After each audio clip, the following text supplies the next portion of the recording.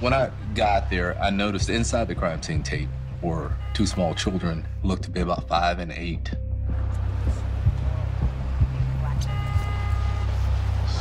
What's up, Chris? What we Hey, got? Ralph. Well, we've got two victims. First one being male, multi-gunshot wounds. He's on his way to the hospital. Second be a young lady. She's still in the house. She's found dead in the closet. When I'm briefed, I realize that the victim is Rashina Crowder, the mother of the two children that were outside the house.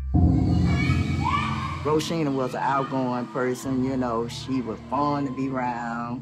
She was a sweet person. She took care of her children. Anybody talk to those kids yet? No, not yet.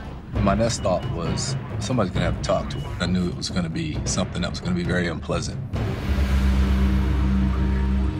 I don't want to look these two kids in the eye right now.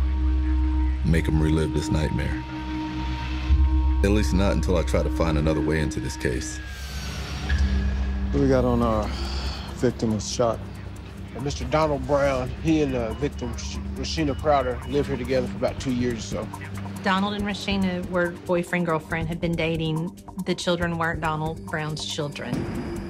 What do you know about his injuries? They're bad. What I learned about Brown's injuries is he was shot in the penis and shot in the eye. As of now, they're not sure if he's gonna make it or not. Let's see what we got.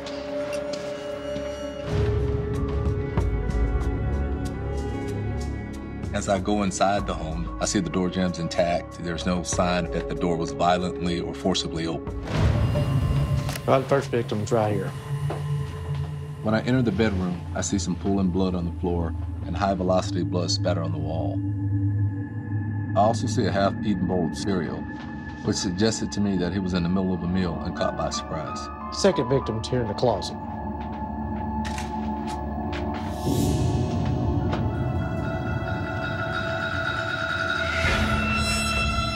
When I look into the closet, the victim is in a fetal position with a jacket. Looks like she was trying to hide when the killer found her. She didn't have a prayer. She had multiple gunshot wounds, two in the chest. Uh, she had one shot into her head. It was a very horrific scene. What struck me odd about that is that her eyes were wide open. The look of shock, surprise, and fear were very apparent.